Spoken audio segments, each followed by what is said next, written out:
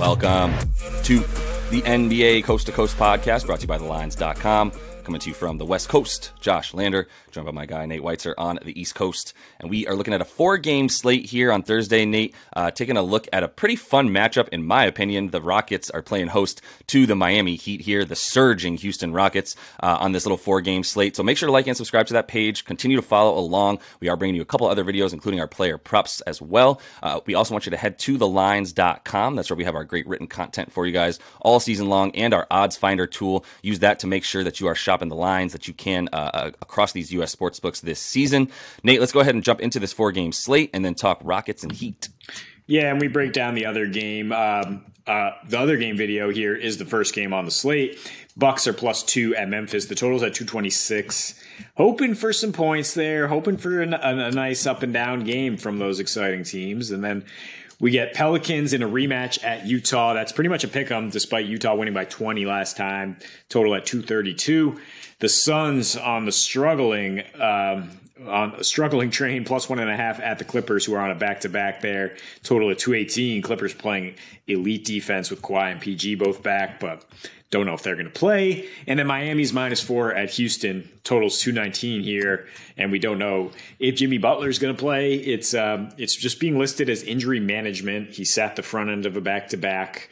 Uh, Victor Oladipo's pl- played five straight games. Maybe he sits the back end, and they do get Jimmy back in there, which you know Oladipo's been playing well. Um, he played 50 minutes and was a plus 26 in his last two, both Heat wins. Um, and I'm kind of looking at them turning a corner. I mean, I, I, don't trust Houston to win. While they've surprised some good teams for sure, uh, whether you think Phoenix is a good team right now or not. They also lost to the Spurs. I mean, so did the Heat. Uh, but I mean, Houston is just they're they're not a good team. They're frisky, and for Miami to to lose this one, I mean, when they can climb back to 500, uh, certainly don't expect that if they have Jimmy Butler back out there. Since they lost to the Spurs, uh, their defense has has been below 100 points allowed per possession, 100 possessions. They shut down Indy at a ridiculous degree, held them to 28 paint points, 35% field goal shooting. Did allow 60 paint points to OKC, uh, but shut them down from the perimeter. Uh, held Indy to 9 for 34 from three as well. Oh.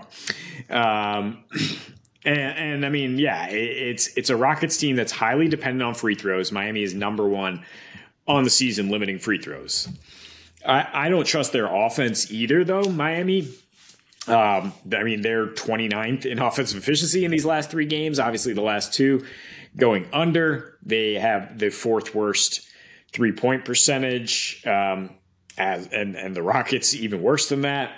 And, and the Rockets are actually second in free throws allowed on the other end. So I think under is where I go first and foremost. You mentioned that Houston is four and two against the spread with the rest advantage this year. They're also four and two to the under uh, when they're able to you know use that youthful exuberance to fly around the court and help and help make it difficult on the opposite team. They've also gone under in four straight regulation games. The exceptions recently a double overtime game against Philly um, and an over against the Suns when they got like 50 free throw attempts or something ridiculous. And Miami is not giving you that. There's not going to be anything easy here.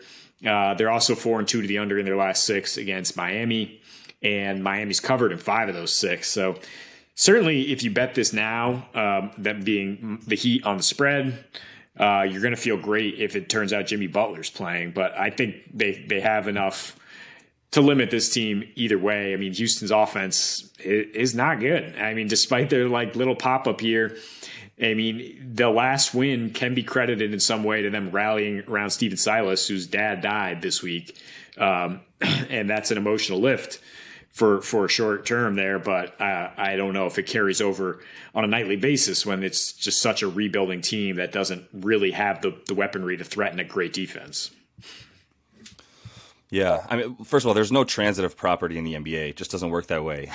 if the Rockets beat this team and another team beats another team, it doesn't mean the Rockets beat that team uh, for sure.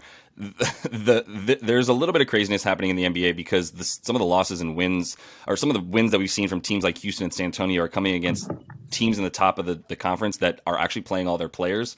Um, so Jimmy playing is helpful uh, for the Heat. I, I don't I, I, don't know how I, I feel about picking a, a, winner at plus four in this one just because I don't know. I mean, the, the Heat just beat the Thunder by two. I know the Thunder are good. That was last night, but uh, the Thunder are pretty good. But I mean, over the last six games for Houston, I, I, do believe in what they're doing a little bit more when you you look at the competition that they're playing as well, right? Like you said it, you beat the Suns twice. Um, you lose to Golden State. Uh, no, nothing, nothing to be uh, ashamed of there. Is, is, Golden State at home is still a good team, um, and then Milwaukee and Philly both had their players, right? Like everybody played in those games. So um, I'm not quite as worried. I do want to just start with the under. Like if I was going to pick somebody on the spread here, I'm taking Houston. To be honest with you, um, four points is enough for me at this point. When you look at some of the, the, the margins of victory and the way that you know the the amount of points that Houston might be losing by at times when they're a dog is not quite by the spread. They're covering at a pretty good um, rate here, right? And in their last six, that's what I'm really concerned with because I think it is a bit of a. It's still the identity of their team. Uh, it, it's just been a lot stronger, right? So four and two to the under, um, but fifth in free throw attempt rate, like you said, uh, a lot of free throws against Phoenix. Um, they're third in percentage points off of free throws. Miami is fourth in limiting that this season. They've uh, what's really interesting is during the six game streak here, uh, where they're four and two, Houston's gone from shooting, um, you know, the seventh most field goal attempts from three to like the twenty first most because they're they're limiting that. They're getting to the rim. They're attacking the paint as you see all these paint points uh, and free throws and, and that's what the, you know. That's obviously huge for them. Second chance points as well. So they're number six in, in uh, points in the paint, number two in second chance points but we just know that that's exactly where you're not scoring on Miami's defense, right? Uh, as we've seen in their last few games, you're not scoring in the paint. You're not going to get those second chance points or offensive rebounds as they're limiting those. Um, and yeah, you're not going to get really good looks from three or or shoot a good percentage. But if you can if you can sort of hit that mid range, hit a few floaters, you might be able to hang around. Not quite what you you know you're looking for from this Houston team at this point. If Miami's going to be guarding both the paint and the three point line to the effect that they are, and the free throw line, that's huge. If they limit this this Houston team to like 18 or less free throws. I just I don't know how Houston's going to score enough um, to, to necessarily win this game. But it's both offenses that that I don't trust at this point. Um, I love the splits of you know five and six of the over at home for Houston, and the fact that uh, Miami goes under so much on the road as opposed to at home. Right, they're 10 and five to the over at home, but five and nine to the over on the road. They're failing to cover that over by nine points uh, against that total there in all these road games as well for for the Heat, and it's because their defense is better on the road and their offense is worse. It's just super simple. They score seven fewer points in the paint um, on the road than they do at home, which is huge for them as well. As we know, um, outside of you know their three point shooters, guys like Jimmy uh, and and Bam are looking to get uh, at attack the rim. So um, you know for for um, Miami in that same six game span that I'm looking at for both these teams, dead last in offensive rating, dead last in points per game at 102. Their games are averaging 207. Um, that D rating has actually gone down a bit from you know it's 108 or so to about 110. Um, they're not rebounding, which they haven't been doing all season. To be honest with you, it's kind of pitiful that they're so good on defense, and, they're just. I guess it's because they're not getting any offensive rebounds. They really just shoot and go uh, and get back on defense, so that they they limit fast break points, um, but they don't crash the offensive rebound and, and, really get those second chance points. So I, I, I, you know, I really like the idea of, of the way that Miami's been playing as a favorite is awful. Five and 14 uh, against the spread when they're a favorite in any capacity this season. Um, just not covering because they're not scoring enough uh, in any of those situations. And so in this one for, for Houston, I, yeah, I, I, don't know that I feel great about them winning. Uh, the spread numbers or the, the, against the spread numbers for them against the East with a rest advantage and all these situations is good. Um, they're definitely more likely to cover than not. It's just, you know, even at two, a low 219 total, I, I just still really feel good about this game going under with a Heat team that's not letting you get anything that the, the Rockets are going to be trying to do on offense. And the Rockets have played a lot better on defense. Not that they'll need it if Miami's going to continue to be the worst offensive team in the league.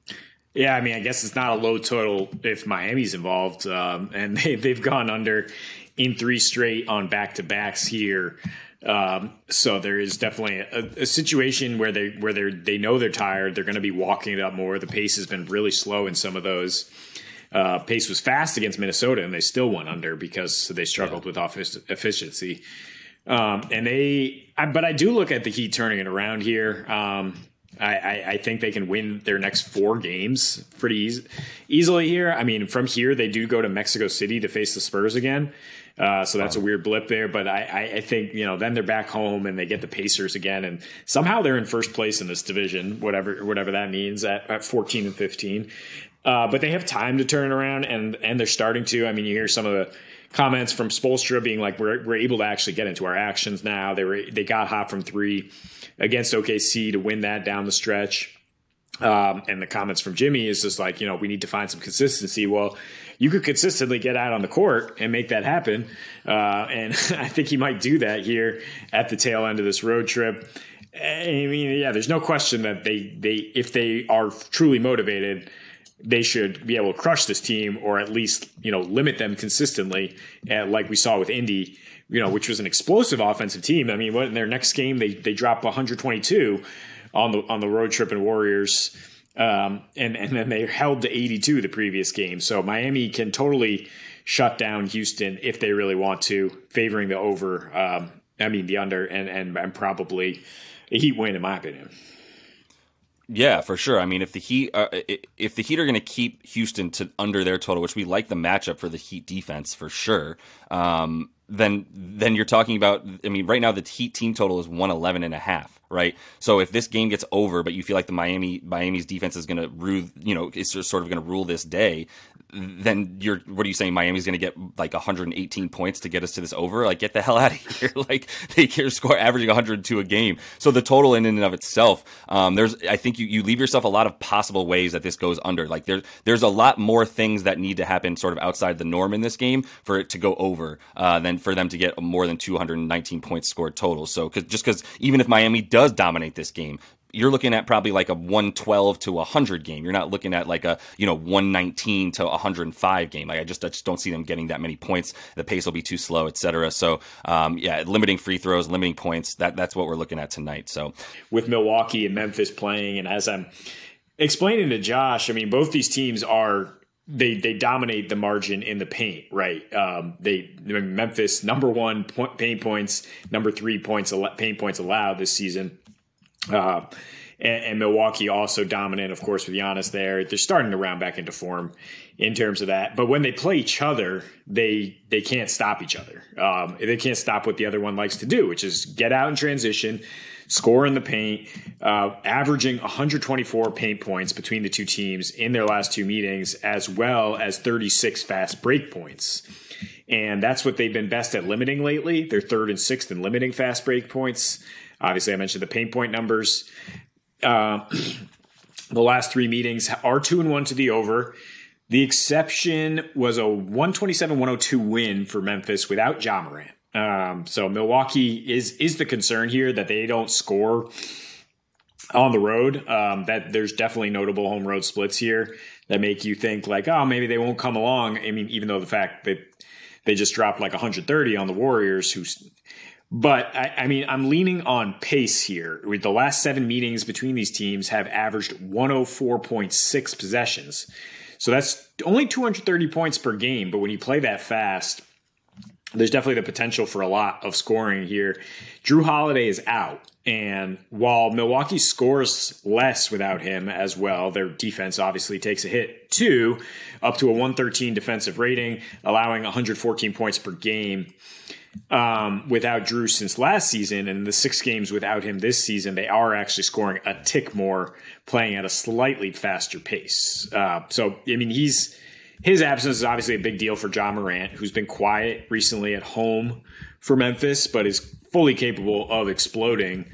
And he went for 35 the last time they hosted the Bucks, and he was active uh, with Jrue coming back from injury. So Jrue wasn't 100 percent there to, um, to to lock him up. And uh, I mean, Memphis is taking off right now on a homestand. Uh, 121 points per game, a 104 pace shooting 53% from the floor and getting 67 paint points in their last three on this homestand. Also an elite defensive rating, but they've been playing, you know, the dregs of the Eastern Conference. And they, so I mean, I, I lean Memphis at home. They are 12 and 2 on the season. They are, they have only lost four home games since the middle of January last season. Uh, two were to the Celtics and I guess that's concerning because the the Bucks and Celtics play a little similarly, but the Bucks are not traveling right now. Um, they just coming off that big win. There's a letdown spot here. They're missing Jrue, who's easily their second most important player. Khris Middleton is not all the way back, and I don't think they're going to find things as easy um, against you know versus how they just cooked the Warriors. Even though they were they they were actually really inefficient in that one, right? I mean, 22 assists, 21 turnovers. Um, you know, but they Giannis only nine for 26 from the field, but it was a 105 pace, and that's why it did go over um, despite the inefficiency. So I, I, think over plus Memphis, there's definitely a correlation there as well. That's plus 225. And um, there's something like 26 and 1 Memphis is their last 27 games when they scored 120. So definitely a correlation that if you want to get up and down with this team, they're going to beat you at it. Yeah, I mean, two two of the best in the league at doing that uh, between Ja and and Giannis. I mean, it's it's a really interesting sort of split between players for the Bucks. Like with with they have one player that scores all his points in the paint. His name is Giannis Antetokounmpo, and then they have however many other guys in their rotation. Let's say seven guys that get in the game outside of Giannis who none of them get into score you know half their points in the paint. Um, four of them score you know more than 50% of their points from deep. Uh, i love the uh, the the wesley matthews number that he shoots he shoots 70 or he scores 72% of his points from three point like Wes doesn't even stand inside the three point line. He's just there to three and d. And to a degree Yep, the, the, the arrow. The, to a degree, like that's that's going to be every sort of one of their their let's say guys who gets time tonight uh, without Jrue playing, right? Like I think Khris obviously is going to continue to get his minutes that have continued to ramp up, getting closer and closer to 30 uh, on his average. Um, and then yeah, Pat Connaughton, Grayson Allen are going to be getting in there a ton more as well. And and we both know where they like to shoot from. Bobby Portis is getting some points in the paint, but Bobby Portis is scoring from everywhere as well. So I mean, he continues to be super crucial for them um, and play about a few more minutes a game as well when Jrue's not in there. So like him as well. But um, yeah, I, I think it's just about the matchup because Milwaukee has somewhat terrified me this season uh, to to pick a, not necessarily against them, but to pick too many points being scored in their games. It seems like a very hit or miss moment for them it's just about the matchup because as as we are you know looking at here the, the home road splits for Milwaukee uh, in terms of scoring are just really stark, right? Like 13 more points a game at home versus on the road. It's that 105 that that, that scares you. Now, Memphis has been scoring uh, on teams that you know when they play teams that aren't quite as fast paced as them um, and good at defense a la the heat then things start to, to dwindle a little bit. Same concept for the 76ers uh, when they played them at, recently. Those are sort of the two best defensive teams they've played in their last you know roughly 5 to 10 as you mentioned just beating up on the dregs of the eastern conference um, not including the Knicks who are still are not in the dregs anymore um, and actually did beat, beat Memphis in that one. But um, still playing at a very fast pace with a team that that you know in the Knicks it has been playing a bit faster faster as well. I bring all this up to say like Memphis is sort of trying to play fast no matter what. It's just a matter of are they going to be able to get theirs in a, if the other team is slowing the game down too much. Um, so then you obviously look at how fast um, Milwaukee plays, whether they're at home or on the road, and you know not not too different necessarily, but it, it is a little bit slower uh, than you would like to see for them. I mean, a 99 and a half pace isn't slow, but it's a little bit slower than they play at home. Once again, the reason for the points being scored there. So I, I don't know if they're trying to necessarily slow it down on the road. I don't think there's that big of a difference, and that's what you really need in this game to hit that over. Um, I, I, would like the Bucks though. I, if Jrue was in this game, I would really like the Bucks uh, to, to, to win this one. Uh, you know, and, take advantage of a Memphis team that uh, you know hasn't really been playing competition that makes you worry about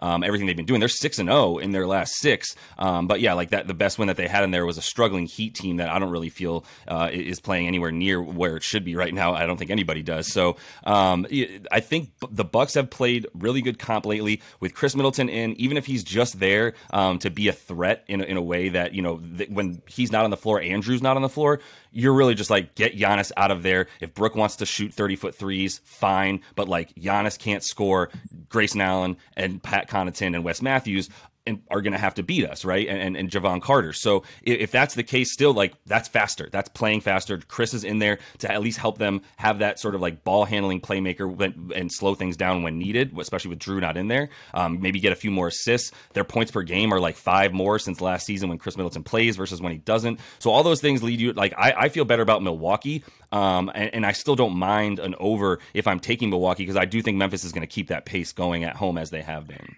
Yeah, the home road thing, just at this point in the season, seems so stark though that like I just trust a team at home in to be geared up. You know, especially when they've been waiting for you, when they this is their fifth straight at home, and Memphis just you know they're they're they're always that building's going to be jumping for an opportunity to be honest, but.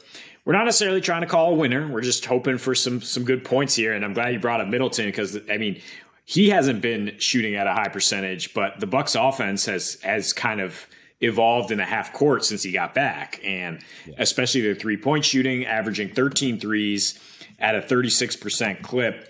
Uh, up to 37% in, in the last five that he started and finished. You know, throwing out that Rockets game where he got injured, they've gone over in seven of their last eight with Middleton out there um, and throughout the entire game. That's what I'm saying. And yeah, Milwaukee's pace has fluctuated wildly, uh, but if if they are able to hit threes, I mean that's obviously the bellwether here.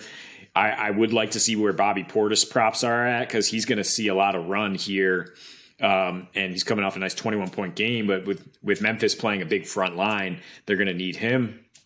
Uh, and then defensively, Memphis allows the highest assist to field goal ratio in the league, um, and and Milwaukee's doing a much better job of sharing the ball on the road at least uh, versus at home. They have very low assist ratio. So, I mean that that half court offense it does give you some some confidence in that that they'll be able that maybe Middleton starts to get his groove a little bit more um, and helps you. Yeah. Keep the scoring up here, uh, along with guys like Grayson Allen, Bobby Portis on the wing. And, and, then Giannis has scored like a point per minute. His last three trips to Memphis is, is, pretty much business as usual. So if it's close, I mean, he'll he'll help you keep scoring as well. Absolutely. Yeah. Good luck stopping him coming down. He absolutely dominated the dubs. And and I like your point about the assist because the Bucks shoot a ton of those threes. And since Middleton's come back, um, they're they're actually even increased their percentage of three point field goals that they're making that are assisted, right? So they're swinging the ball around uh, around the perimeter a lot better with Middleton out there, having just one more threat uh, to be able to put up that three or even just step in one dribble in a mid range. You've got to watch him a lot closer uh, than, than you would this offense otherwise. So Nate, let's go ahead and jump into your first NBA play a prop for tonight. Yeah, Ja Morant has been quiet in his last 10 home games, but I don't think he's going to stay quiet in this matchup with the Bucks. Um, you know, a high profile matchup, two teams that love to get up and down and attack the paint. And Ja's thrives in this matchup. Uh, his last time they hosted Milwaukee, he went for 35 points on a, on 25 field goal attempts, three for 13 from three. So it's at 27 and a half points. Uh, I do think you'll get over that kind of comfortably. I think maybe you want to look at an alternate for 30 plus or uh, 30 plus and a win if you are feeling Memphis at home here. But also, like an interesting thing is just to take two threes for Ja because Milwaukee has dared him to shoot uh, for sure. I mean, his last three against them, he's taken 11 threes on average, hit three and a half of those. Um, and so he's been quiet in that regard lately, but if he starts feeling it, he will he will go in and. Um, Jrue Holiday is going to be out here tonight. Uh, he he he's sick, and part of the reason Ja went for 35 in that last matchup is because Jrue was coming off an injury and only played 23 minutes off the bench. Uh, Jevon Carter's a nice um, pesky guard defensively, Wes Matthews will spend some time on Ja too, but I don't think you're really shutting him down, especially because the NBA doesn't really call carrying, uh, even though they're cracking down on travels. And Ja just carry the ball and get by anybody he wants. Uh, and that's why he'll get his 30 tonight. not fair. Not fair. He's not the only one, uh, but it is egregious. You're not. Either way, Ja baby tonight. Not a great matchup without Jrue. We just saw Steph score 38 in 30 minutes before he had to come out. Um, well, that was that was against Indiana, but against uh, Milwaukee the other night as well. Steph was going off for a minute. Jordan Poole was as well. Bumped his knee. I just remember he came out last night. He came back in the game against Milwaukee, but um, I, I, think there's reason to like uh, uh, you know uh, point guards who can score. Their ability to get points when Jrue Holiday's not playing. There's not a solid enough backup, I think, in that in that uh, instance. So um, a guy who might be on Ja a little bit, Grayson Allen, going to get a few more minutes at least tonight. So I think there's reason to feel better about him getting some stats tonight. Um, 10 and a half points on FanDuel, uh, minus 113 on your money there. I think you could you throw the assists in, you get all the way up to plus money, 13 and a half points in assists. Depends how, how, how often, you know, how, how many minutes he's getting, but that is going up when Jrue doesn't play. He's had double digits uh, totals in, in four straight now and his points. His usage does go up without Jrue, unsurprisingly, from about 15 to 18%. He was definitely the guy uh, in their, their recent game without Jrue um, that, you know, got, got sort of a few more of those minutes as opposed to Jevon Carter, who came out a little bit earlier than you might have thought. Uh, and, and Grayson saw a bunch more time there. Um, he also gets a bunch more usage on the road this season um, as opposed to at home, where he's averaging 11 points a game uh, and three assists on the road because he's getting over 30 minutes as well. So if he's going to be getting the minutes as I continue to expect him to do and get over 30 like he does when Jrue Holiday does not play, um, it doesn't matter that he's not starting. He's often a better matchup in there uh, and a guy that you can count on to, to be able to score a few more points tonight. Former team theory too. Um, also you got revenge factor. Yeah, you gotta love that that that little extra juice. Saw Willie Barton go off in Denver last night. Um, but really, yeah, it's more about the Bucks just kind of finding their their ball movement with Khris Middleton out there. Giannis being able to kick it out more and and and get the ball in rotation and get good shots. We mentioned that they've been shooting much better from three lately, and Memphis allows the fifth most threes uh, on the season. So they're going to need Allen and other guys to be ready to shoot that ball. Uh, only two games up because they're Heat and Clips on a back to back, so we don't have anything there. But I do love taking an under on Jordan Clarkson. Uh, we we have hit this a couple times this season because the guy can just go ice cold, um, but he could also just fail to give you any peripheral stats. In, in, his last five, averaging two and a half rebounds and four assists, uh, along with 19 and a half points per game. and it's at 28 and a half PRA again against the Pelicans team that has some really good wing defenders and will be motivated after getting cooked uh, two nights ago, but it was Nickeil Alexander Walker and Malik Beasley that did the cooking. Uh, as, Clarkson took a seat after scoring just 11 points in 29 minutes, the Jazz rode their bench to the win. The uh, Pelicans are really good. Like I said, I mean, Dyson Daniels, the rookie, uh, Trey Murphy. They've got a lot of guys that can throw at you, and then of course Alvarado, uh, and uh, they're they're allowing the seventh fewest points, sixth fewest rebounds to shooting guards third in three point defense, second in free throws allowed, eighth in efficiency allowed overall. So, I mean, Clarkson could could still get you 24 points and and go, and go below this on PRA, but uh, I think it's a good way to round it out or just take the under uh, on 21 points.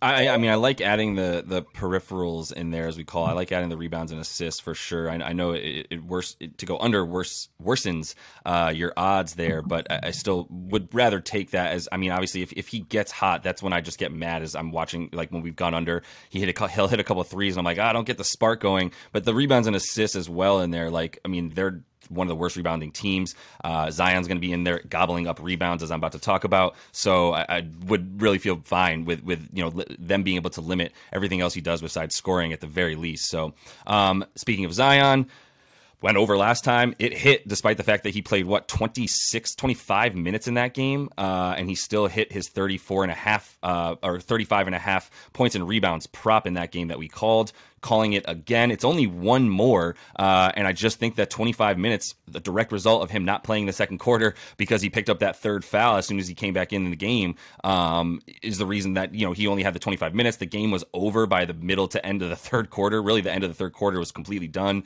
Um, already down by like 18 points. Didn't really need to play much more after that. So, I mean, I was happy that he got his prop right before he went out, but 20 points in the paint in that game as well, by the way. And that's why we're picking Zion. Um, and, I, and I love him against the Jazz um, because they don't guard the paint and they don't get rebounds. And that's what Zion does. He crashed the boards um, at an insane rate. Like I said, the, the, three fouls in the first half almost sunk us, but didn't because 20 points in the paint in 25 minutes is Wilt Chamberlain stuff. He had three offensive boards in that game and 14 second chance points. So, um, obviously, e- either he or Joval, who Joval actually actually had uh, six offensive rebounds in that one. Um, one of them two getting the boards. They're just going to be bit playing taps at the rim essentially, which is what I was waiting for last time. Um, in, in the way that they do this, it, since Zion came back, you know they're they're nine and two now after that loss to the Jazz last time. Um, but in those eleven games, like dude's averaging you know twenty seven points, eight and a half boards, four and a half assists. I don't hate if you want to throw the assists in there. It's forty or uh, yeah, 40 and a half right now uh, on DraftKings. If you go over that, does get you about minus 110. It's a little bit better odds. Um, FanDuel is probably the place to go for, for Zion points and rebounds tonight. If you're using that odds finder tool, you get better juice, uh, minus 113 on FanDuel there for him to get the 37 PR, the points and rebounds. It, like I said, it's just him playing taps at the rim tonight. If he gets 30 to 32 minutes, there's no way he doesn't get one more point or rebound than he got last time in 25 minutes. Yeah, I like sticking with it uh, because this this was basically the only way you're going to get a small Zion line is if they, they the game gets away from him and they, he gets into foul trouble and he still put up a big line. Um, just absolutely ridiculous efficiency. The the juice on some of these props are ridiculous. Minus 160 at DraftKings for him to have 28 points. Uh, I mean, I, I don't know where to find the value here. I guess you kind of have to lump everything together, or I, will stick to my guns and say back him to get a double double with Utah struggling uh, rebounding the ball so much. Uh, plus 225 for him to have a double double. If he is, like Josh saying, playing taps, getting all those offensive rebounds and getting a full slate of minutes, uh, maybe he gets there in double digit rebounds. Yeah, dude, he had nine last time in 25 yeah. minutes. Uh, he just needs to be on the floor. So just don't foul Zion. Uh, move your feet or let him score. I don't care, but just get yours by not fouling and staying in the game um, because it's too crucial to what they do as well. If they're going to dominate the, the, the categories uh, of the game that they need to to beat the the Jazz, they need Zion in there as well. So that that's the identity of what they do. But that is all the time we have for you guys in this one. Go ahead and like and subscribe to that page. Continue to follow along. Also check out our picks on Twitter that I'm throwing up there for you guys. So you can make sure to follow along with those, uh, tracking those units and wins for you as well. So until we see you next, happy betting.